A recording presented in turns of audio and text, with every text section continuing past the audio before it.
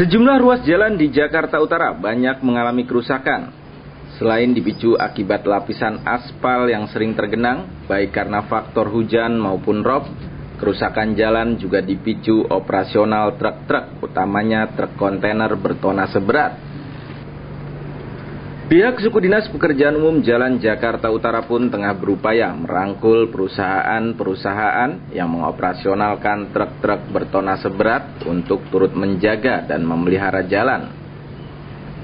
Pantauan berita jakarta.com, kerusakan jalan tidak hanya terjadi pada ruas jalan utama seperti Jalan RE Marta Dinata maupun Jalan Yosudarso Jalan-jalan lingkungan atau pemukiman juga banyak yang rusak karena menjadi jalur lintasan truk dari Pul menuju kawasan Berikat Nusantara atau KBN dan Pelabuhan Tanjung Priuk maupun sebaliknya.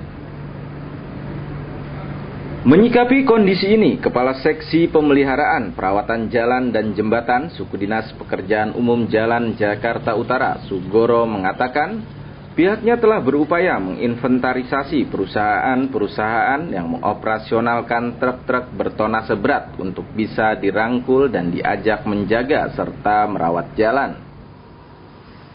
Kebetulan kendaraan yang besar-besar, tronton terutama, yang begitu uh, apa namanya beban tonasi yang sangat tinggi, sehingga itu juga salah satu faktor mempercepat kerusakan jalan pada umumnya Jakarta Utara demikian. Uh, ada tindakan sendiri nggak pak untuk? Nah itu memang pernah diwacanakan kita sudah coba mendata atau menginventaris apa namanya uh, uh, pool pool pool atau tempat uh, kontainer itu sendiri yang mana banyak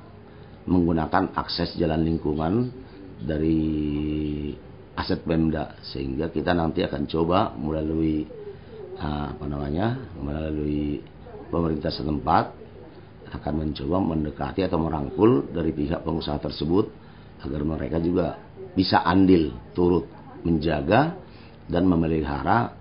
uh, sarana tersebut yang mengakses masuk ke tempat uh, atau terminal atau pool penempatan uh, kontainer tersebut. Dari Jakarta Utara, tim berita Jakarta melaporkan.